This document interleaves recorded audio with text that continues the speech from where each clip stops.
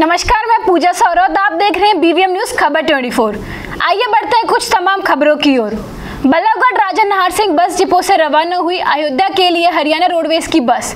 परिवहन मंत्री मूलचंद शर्मा ने हरी झंडी दिखाकर बस को किया रवाना।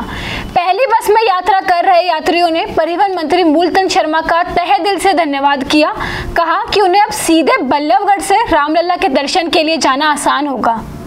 जी, कहाँ से, कहाँ के रहने वाले हैं आप? मैं भारत कॉलोनी। अच्छा अयोध्या जा रहे हो? क्या कहोगे आप बस जा रही है आपकी बल्लभगढ़ से? कभी सोचा अभी नहीं सोचा नहीं था लड़का डला इधर। अच्छा बहुत बढ़िया। बस में अयोध्या तक सफ़र कर रहे हो? क्या नाम है आपका?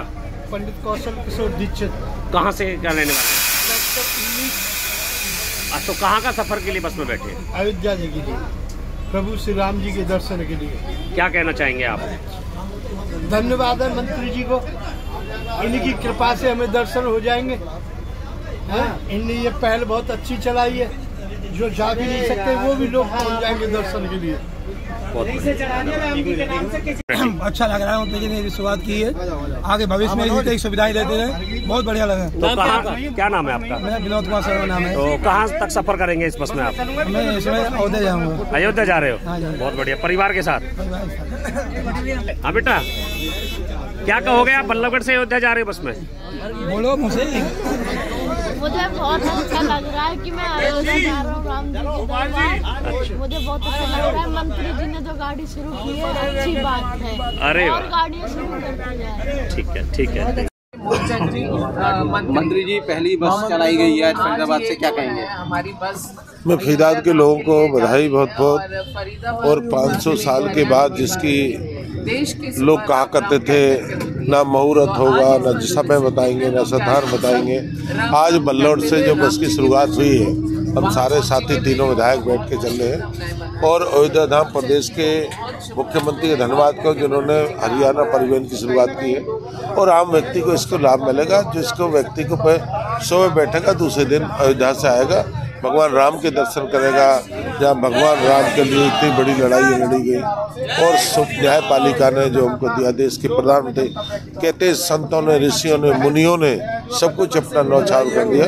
हम उसके दर्शन करेंगे उस धाम के इससे बड़ी खुशी का दिन हमारे लिए कितनी देर का सफ़र होगा क्या किराया होगा? और आपने बताया कि इसमें भी कैटेगरी रखी गई है बसों की। नहीं हमारे एसी बस है वोल्वो वोल्वो है एसी है ऑर्डनरी है।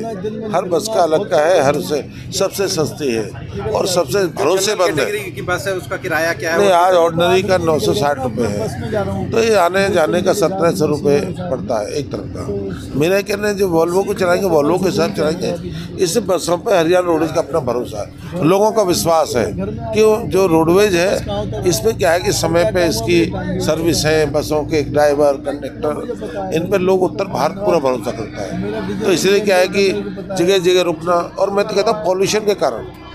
पॉल्यूशन के कारण अपने व्हीकलों का यूज़ नहीं कर उपयोग। सरकारी बसों का उपयोग करें जिससे पॉल्यूशन कम होगी और सुरक्षित रहेगा लोगों को लाभ। एसी बस प्राइवेट व्हीकल के मुकाबले ज़्यादा सस्ती पड़ेगी भरोसेमंद है। उनका क्या है कि ड्राइवर कंडक्टरों पर लोग भरोसा रखते हैं। वो सरकार के हैं बस इंश्योरेंस देती है। और